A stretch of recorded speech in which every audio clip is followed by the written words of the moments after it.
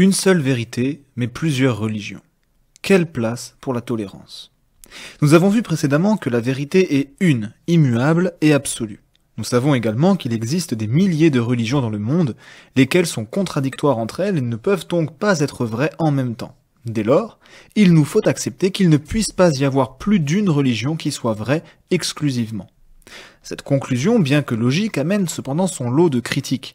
Cette prétention à une vérité absolue et exclusive semble en effet bien arrogante et intolérante. Analysons donc cela d'un peu plus près. Nous avons déjà eu l'occasion de discuter de l'accusation d'arrogance des religions, et de souligner en quoi elles s'inscrivent justement dans une démarche qui se veut des plus humbles, condamnant généralement toute forme d'arrogance.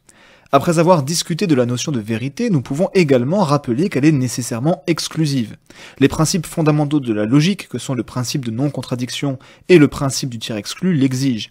Il n'y a donc rien d'arrogant à considérer qu'une vérité soit exclusive. Celui qui tient pour vrai que 2 plus 2 égale 4 ne peut être taxé d'arrogance s'il refuse d'accepter que 2 plus 2 puisse être égal à 5.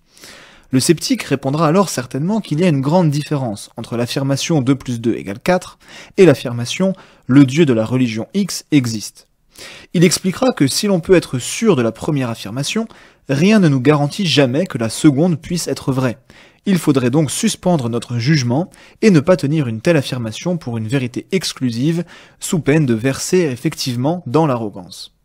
Là aussi, nous avons déjà pu discuter d'une telle position proche de l'agnosticisme et mettre en avant son caractère profondément arrogant, ironiquement. Rappelons à nouveau que le croyant ne prétend pas détenir une telle vérité par ses propres mérites, mais grâce à une révélation divine qui lui permet d'avoir accès à une vérité qui lui serait demeurée inatteignable. Cette défense de l'exclusivisme peut choquer. Notre société défend en effet le dialogue contradictoire, la pluralité des opinions et l'ouverture à l'autre, et elle a bien raison. Ce sont là des éléments positifs à valoriser et à préserver. La prétention à la vérité exclusive n'implique absolument pas l'imposition forcée d'un point de vue particulier à l'ensemble de la population.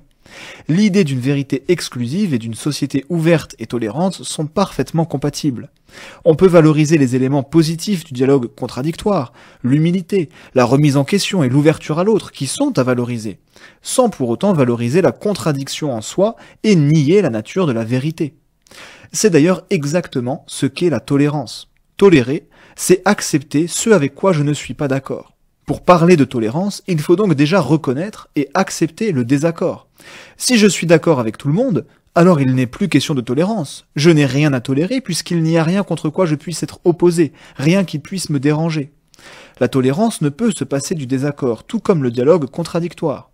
Le vrai intolérant, ce n'est pas celui qui est persuadé d'avoir raison, mais celui qui n'accepte pas qu'on puisse penser différemment de lui. Le croyant qui croit fermement détenir la vérité exclusive sur Dieu peut donc parfaitement vivre en tolérant les croyants d'autres religions ou les incroyants sans qu'il n'y ait le moindre problème. À cet égard, il est intéressant de noter que le christianisme reconnaît une part de vérité dans chaque religion. Puisqu'elles bénéficient toutes de ce qu'on nomme la révélation générale ou naturelle de Dieu, elles ont toutes des enseignements qui contiennent une part de vérité. Pour le chrétien, et pour le dire plus crûment, bien que le christianisme soit l'unique vraie religion, tout n'est pas à jeter dans les autres religions. Le chrétien est par ailleurs appelé à vivre dans la paix avec tous, y compris ses ennemis, autant que cela dépend de lui. Ainsi, nous voyons que la prétention à la vérité exclusive découle simplement de la nature de la vérité.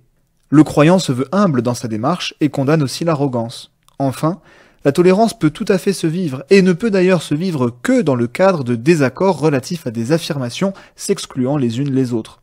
La prétention à la vérité religieuse exclusive ne se veut donc ni arrogante, ni intolérante. C'était Curious, j'espère que cette vidéo vous a plu. N'hésitez pas à me faire part de vos remarques et questions dans les commentaires ou par mail. Pensez aussi à aimer la vidéo et à vous abonner pour soutenir la chaîne et être tenu informé de ses nouveautés. À la semaine prochaine